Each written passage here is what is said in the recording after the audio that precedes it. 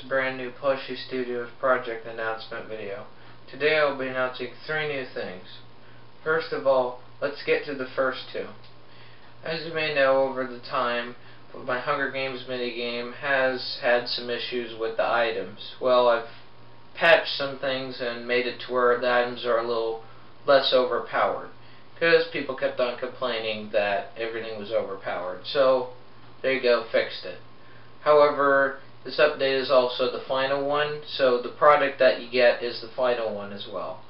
But each and every known bug has been patched. Map exploits, um, exploits to get items you shouldn't get, all patched.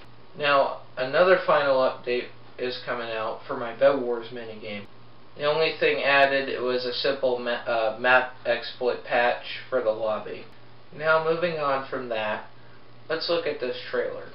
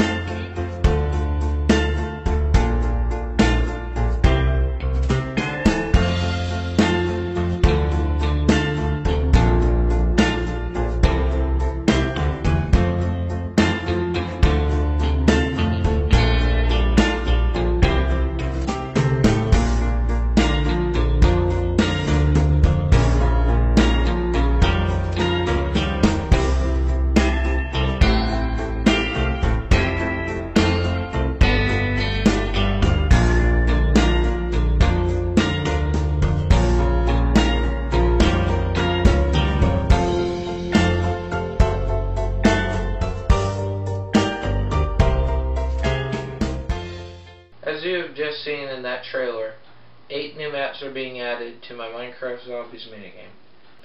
One of these maps, Campsite, is free. However, the other maps you have to unlock them with 5 plushie points per expansion pack. There's two of them.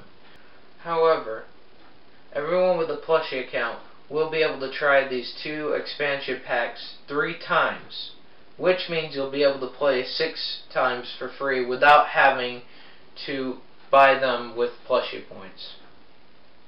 Also in this update for the Minecraft Zombies minigame, a new revival system has been added. You put enough money in the chest, you get to choose who gets revived. And as well as a new iron golem and a villager item. The villager item allows you to get more food drops, and the iron golem is there to help protect. This is all in this update, and also this is the final update for the Minecraft Zombies minigame as well.